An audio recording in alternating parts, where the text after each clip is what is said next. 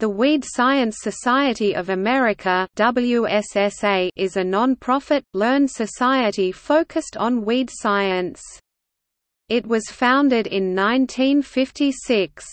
The organization promotes research, education, and extension outreach, provides science-based information to the public and policy makers, and fosters awareness of weeds and their impact on both managed and natural ecosystems.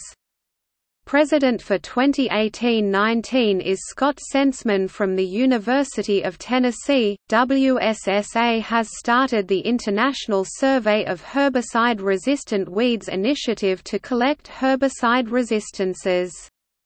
The WSSA classifies all herbicides by the mode of action. In 2017, WSSA began a partnership with Cambridge University Press to continue publication of the three WSSA journals Weed Science ISSN 0043-1745, Weed Technology ISSN 0890-037X, and Invasive Plant Science and Management ISSN 1939 to 747X.